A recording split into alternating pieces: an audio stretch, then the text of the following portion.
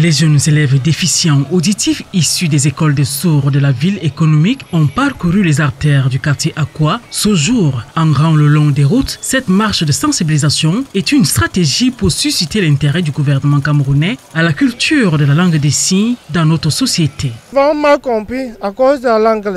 Nous voulons à travers cette journée interpeller le pouvoir public sur le droit des personnes sourdes à travers particulièrement la langue des signes. Parce qu'à la télévision par exemple, il y a pas les interprètes pour le son. Hein? Il faudrait qu'à la télévision, il y ait les interprètes afin que le public puisse aussi avoir accès aux informations. Nous voulons aussi que dans les établissements scolaires, hein, le gouvernement puisse prendre l'initiative pour instaurer les auxiliaires, les encadrer auxiliaires pour le son. La semaine internationale des sourds et de la langue des signes est aussi une occasion pour ces jeunes de défendre leurs droits et de montrer l'importance de la langue des signes. Le sourd du quartier et celui de l'école, il y a une grande différence. Ils n'ont pas les mêmes signes.